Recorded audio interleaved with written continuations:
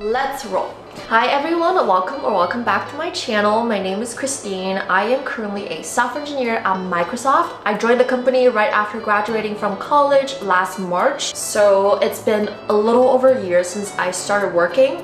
And today I want to share some tips that definitely helped me a lot and things I wish people had told me before I joined, but things that I had to figure out on my own the hard way. So hopefully this is going to be helpful for anyone who's gonna join a company right after graduation so without further ado, let's get started.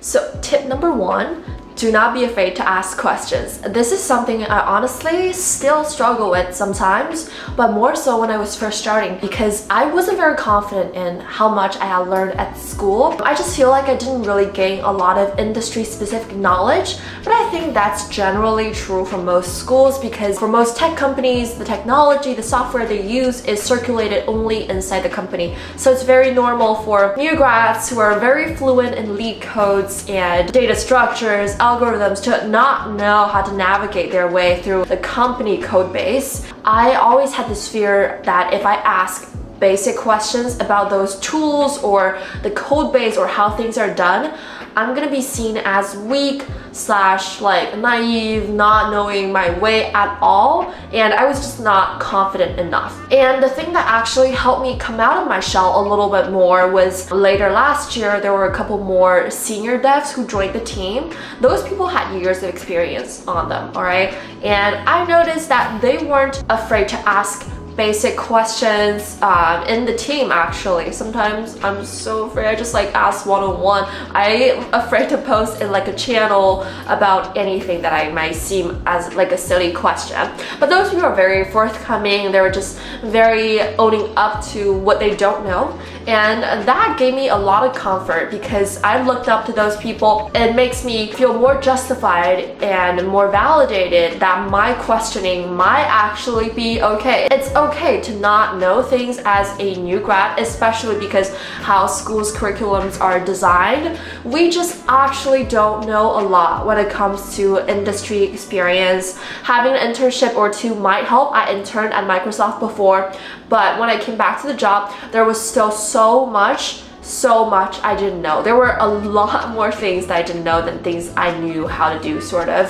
But yeah, one big thing is don't hold yourself back from like asking questions. If you gotta ask those questions, it's better to ask them earlier than later because if you're five years into the job and still don't know because you're afraid to ask questions, that might be a real problem. So make sure to ask those questions you want the answers to um, while you're still fresh. Do not be afraid that people will judge you because everyone asks those questions. Okay, second tip uh, which is more like a, a mindset slash mental health tip is you have to accept that people exist um, in a very wide spectrum of skill levels. If you think about it, ever since we are in kindergarten, we were always dealing with peers, people my age, and we always start at the same starting line. Like whenever it comes to like classes or even internships, you just always are surrounded by people like you in terms of skill sets. But when I joined the company, I gradually started realizing there are some insane people out there. And this kind of sounds like a common sense, right? I think I knew, but I just never realized it or internalized it that much. I realized, I think first day on the job, people have 30 year plus experience. People have experiences more than how old I am and we're working on the same project. And that took me actually a long time to process and be okay with it because I am the kind of type A personality who is very used to doing very well like in school and projects and internships. It was a hard pill to swallow to accept that people are gonna know more things than you and knowing that actually was comforting and freeing because going back to uh, my point number one I think another big reason I was afraid to ask questions was when you're in like that environment with all your peers asking questions sort of would make you look like you were behind but if you ditch that whole mindset of competing on the same like track, you start giving up that toxic notion that we have to know everything. The absolute amount of knowledge we have now determines how good we are because that's not productive and it's toxic. I started adapting a more growth mindset, knowing that as long as I can do a little better than myself yesterday, that's progress for me and that's something to celebrate. So instead of comparing myself to other people, which is unrealistic, like literally impossible in the work field, I started comparing myself to myself yesterday, a month ago, because I do feel like I have learned a lot um, in the past year, I'm very proud of my own progress. But again, if I adopted my old mindset, which is you have to compare yourself to everyone around you, which is ironically how we're trained in schools, um, I'll feel like crap 99% of the time.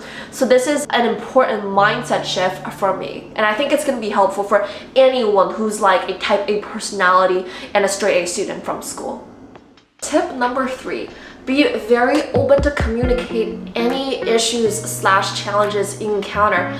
And this is again something that might be unique to me. Maybe I'm just a little weird. When I initially like encountered challenges, I would try to figure it out on my own. And don't get me wrong, it's absolutely good to figure out things on your own because it helps you learn, helps you explore, and this is a necessary skill set as a dev. But sometimes even if I get absolutely blocked, I was hesitant to reach out for help or communicate that challenge I encounter. Again, for fear of, oh my god, people are gonna see me as weak. What if I get laid off, especially in this climate, right? That's like a skill that I didn't realize I needed, the skill to communicate the challenges, which is honestly such an important skill for relationships, workplace, with yourself. Communication is so important and I gradually realized that being able to communicate a challenge to say your manager or your teammates helps out like things in the long run. If I'm actually blocked, I won't let people know now that I am blocked and I need help because this helps them in their estimates. Right? Uh, they um, they know what to expect out of it so you don't miss any deadlines. But if you're trying to toughen it out, sometimes you miss deadlines, sometimes you finish a project maybe in a less optimal way than you could have been if you ask for help from some experts. Do not be afraid to communicate challenges you encounter. It does not make you weak or a novice or any less than you think you are if you don't ask questions or communicate your challenges. And the fourth and last tip I want to give is always have buffer time when you're estimating your project. I sort of had this notion, oh, I don't know how I got so many random ideas before I joined. When you're asked about like an estimate on a project, it's best to finish as fast as possible. And I definitely think I was underestimating a little. I was eager to finish it as fast as possible while not considering the overhead that comes inevitably in like team collaboration. There's so much overhead like negotiating, talking with PMs, designers, or when there are multiple devs, just multiple women giving birth to a kid, that sort of thing. There's always overhead. You have to wait for other people's PR to merge before you can merge yours. All those times add to your estimate. And I did not realize that. And I thought what people wanted was I promising them I can do this as fast as possible.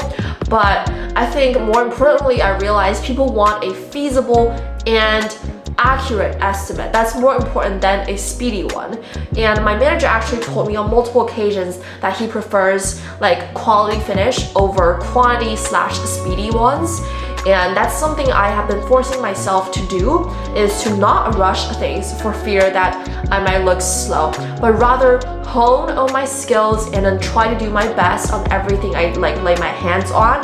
That has helped me a lot. Also like in reducing anxiety over am I gonna be too slow for the team because when you're like more focused on the quality, you really take your time and focus on the quality of the code you output. And that has been working out great for me. Alright, that's the four tips I'm giving out today. I hope you find this video helpful. These are just some of the heartfelt things I wish someone had told me because I know as challenging as jobs get, the things I struggled with the most was based on my unrealistic expectations of myself. We're smart people. We're gonna be able to do the job part. But what I found more difficult, and this may be true for a lot of people, is that you have to have the right mindset and continuously focusing on your mental health as well as how you can realistically do your best at the job and that involves a lot of mindset shifts when you're transitioning from school to a new job. So I hope you find this video helpful and if you do don't forget to subscribe to my channel. I will see you guys in my next video. Bye. TJ is just sleeping. Say bye. Bye.